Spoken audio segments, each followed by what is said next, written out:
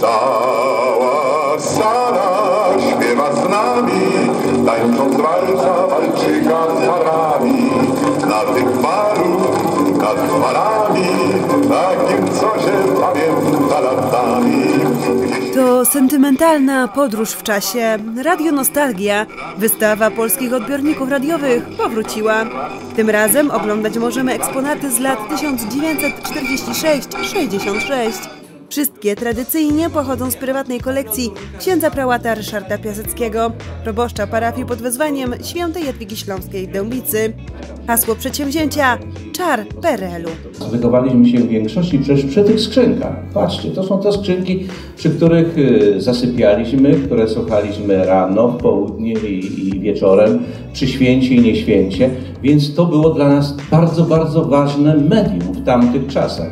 I dlatego, i dlatego e, oczarowywały nas te skrzynki, które dawały poczucie wolności. Granice były zamknięte. Mogliśmy nastawić na rozmaite stacje zachodnie, nie tylko te o znaczeniu politycznym, ale jeżeli chcieliśmy posłuchać dobrej muzyki, Ta wystawa jest akurat po raz pierwszy. Jest to kontynuacja wystawy, która była rok temu, Radio Nostalgia. Przed e, rokiem prezentowaliśmy radioodbiorniki pochodzące z lat 20. i 30. XX wieku. Tym razem prezentujemy lata e, radioodbiorniki pochodzące konkretnie e, z lat e, od roku 1946 do roku 1966. Co jest ciekawe, są to polskie radioodbiorniki wyłącznie. W ubiegłym roku były różne.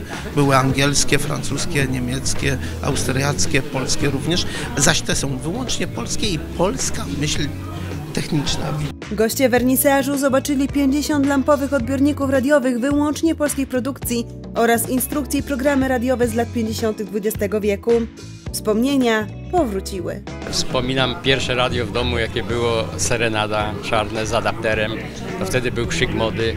Rodzice to kupili chyba całą wypłatę, mama musiała na to przeznaczyć. Także sąsiedzi przychodzili, podziwiali, bo no jakieś te pioniery były wtedy jeszcze, ale to, to już był wyższy, wyższy stopień. Na wsi to były zasilane z baterii, nie było prądu, bo w mieście w Dębicy no to już był prąd, ale, ale w Gumniskach na przykład, gdzie moja babcia mieszkała, to nie było prądu. No i anteny porozciągane po drzewach, żeby wolną Europę słuchać. Na afiszu było napisane z nostalgią. Przychodzimy tutaj ze wspomnieniem z lat naszych też z naszego dzieciństwa. Jesteśmy w grupie zróżnicowanej trochę pokoleniowo z naszej wspólnoty. Również dlatego, że to wystawa kolekcji naszego księdza proboszcza Ryszarda Piaseckiego. I każda z nas szukała swojego rocznika. Pamiętamy, jak cała rodzina się gromadziła. Był to wtedy na ówczesne czasy jedyny środek takiej komunikacji, wiadomości ze świata. To jestem oczarowany, to jest właśnie, to jest właśnie ten czar. Ja e, jako dziecko widywałem u sąsiadów e, niektóre odbiorniki, ale nie wiedziałem, że aż tyle da się zgromadzić i że to są wszystkie polskie i że taka była dostępność.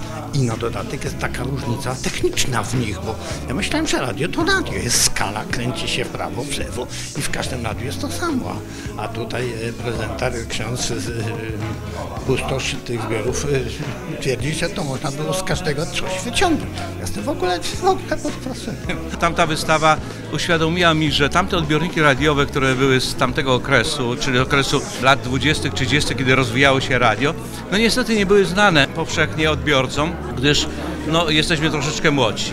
No i wielu ludzi e, jak gdyby przywoływało wspomnienia ze swoich domów. No i postanowiłem, że pokażę te radia, które e, w naszym dzieciństwie, w naszej młodości królowały w naszych domach. Wystawę czasową Radio Nostalgia Czar PRL-u można oglądać w Muzeum Regionalnym w Dębicy do 16 kwietnia w godzinach pracy obiektu.